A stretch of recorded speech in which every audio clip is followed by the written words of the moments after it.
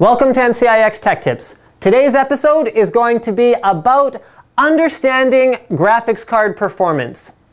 So what do I mean by that? I mean when you go on a forum and you're some guys like, you know, oh, I just got this graphics card and it runs game X at 150 FPS. And then he doesn't give any more detail. Well, I'm going to explain to you guys all of the different factors that you need to consider when you want to determine if a graphics card is going to run the games you want the way you want to run them. So here's a perfect example. I've got an older video card. This is a Radeon 4850 and I'm running it at 1080p with 50 FPS. So that's pretty good, right? It's a pretty great graphics card. Well, check this out. I have to have the details turned down so low at 1080p that you see this tree right here.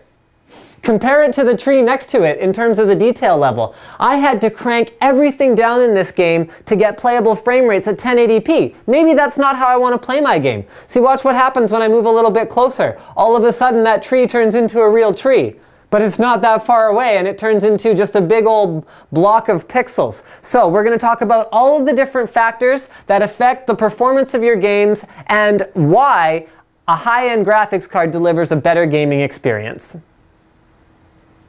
Okay guys, Let's talk about the biggest differentiating factor in terms of the overall playability of a game, as well as the biggest drain on your GPU's resources. That is resolution. So resolution is, in layman's terms, how many dots vertical by how many dots horizontal, and it is how many pixels you are displaying overall. So what, resolu what, what resolution gives you is smoother lines, versus uh, compare it uh, compare it say for example to NES so where Mario is made up of very large blocks, that's very low resolution because each of those blocks is a pixel. Compared to something like Battlefield Bad Company 2, where there are actually very, very, very tiny dots making up the overall image, that is now high resolution.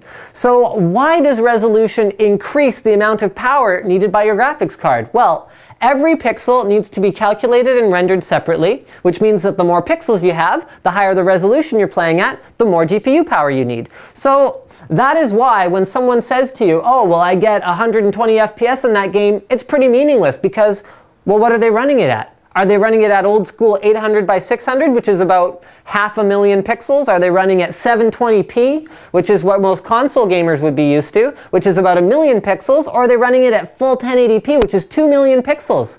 So that is, in terms of just sheer pixel count actually a doubling of what is being asked from your graphics card. Maybe they're even running at an HD plus resolution with a 30 inch monitor like 2560 by 1600. That's 4 million pixels, so it requires a lot more power. However, if you have extra performance left over with your graphics card, resolution is the big one, and I'm going to show you why. So we're running at 720p right now, and I want you to focus on a couple of things in particular. One of them is, uh, here, if I can just get away from this smoke a little bit.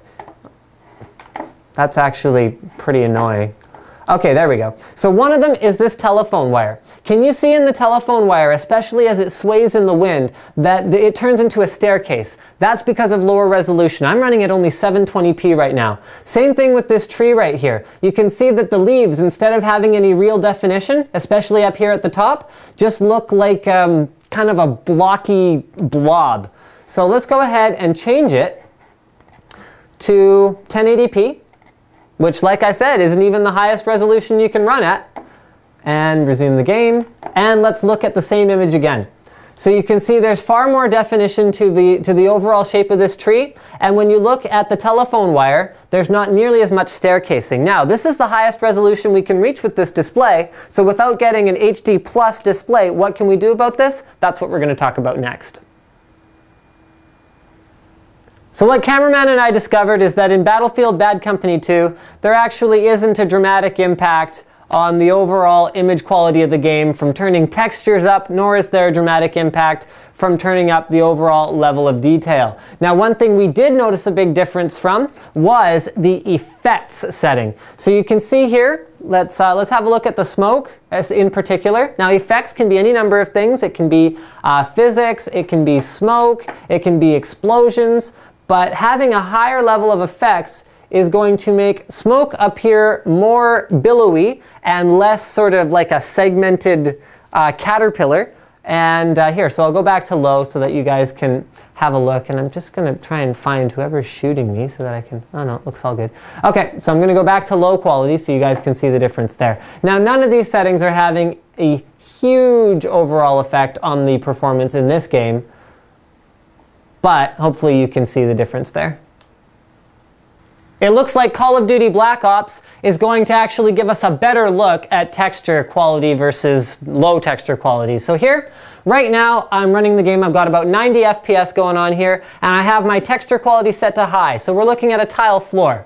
So what's going to happen if I go into my detail settings and I turn my texture quality to low?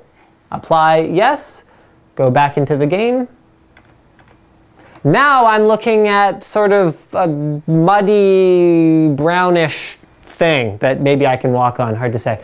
So that is the dramatic difference that texture quality can make to your gaming experience, although you can see my FPS is still the same because texture quality more than anything else is dependent on having enough video card memory, although there is a small impact on performance in terms of your GPU as well. So fast GPU does help. Now we're going to go ahead, turn the texture quality back up to extra, but we have our AF, or anisotropic filtering, turned all the way down. So I'm going to show you guys what that means. Now the textures up close look about as good as they're going to get. We can see the carpet, we can see the tiles, but what about far away? It starts to get not as sharp looking when you're further away. So you can see into this hallway and into uh, Castro's bedroom. I'm going to go ahead and turn the AF all the way up. So AF is a detail level thing that allows us to make textures look better further away. Now, that tile floor and even the tile floor in, in Castro's room are very, very defined looking. So the conclusion, guys, is that really there's a lot more to FPS, that is video card performance, than just resolution even. And there's a lot more to it than just can you run the game. Yes, you can run the game, but are you running it the way it is meant to be enjoyed uh, that depends. So we've still got our 4850 on the test bench here, and I'm gonna show you guys the extreme example, the most extreme example I can come up with of how much of a difference there can be in performance when you're running a game at the lowest possible detail settings. In this case, I'm running at 720p with horrible shadows and all the, the, textures and details and everything turned way down. Now I'm gonna stand here where I'm getting about 90 to 100 FPS and I'm going to change the detail levels all to the highest that they go. High, high. I'm gonna turn up my anti-aliasing. I'm gonna turn up my AF. I'm to turn up my resolution to 1080p, which like I said is not even the highest it goes.